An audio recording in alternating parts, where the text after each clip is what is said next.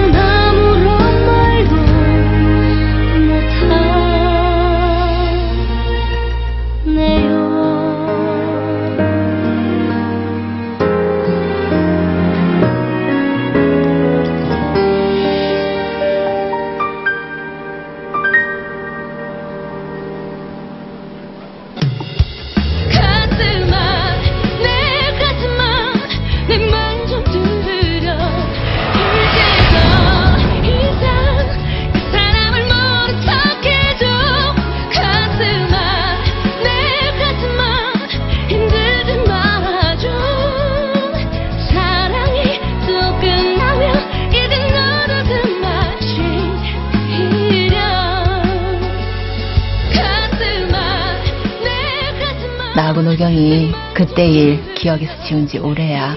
승이 어떻게 사는지 궁금하지 않아요? 그렇게 소원하던 여자하고 사니까 좋아? 나하고 승희 잘 사는 거 봤을 테니까 더 이상은 우리 주변에 나타나지 않았으면 좋겠어. 당신 가끔 보면 옛날 기억을 지우려 하기보단 잊지 않기 위해 애쓰는 사람 같아. 승이 이제 다 잊은 거예요? 잊었어 깨끗이 나하고 같이 사는 지금이 행복하지 않은 거니? 승희야 행복하니?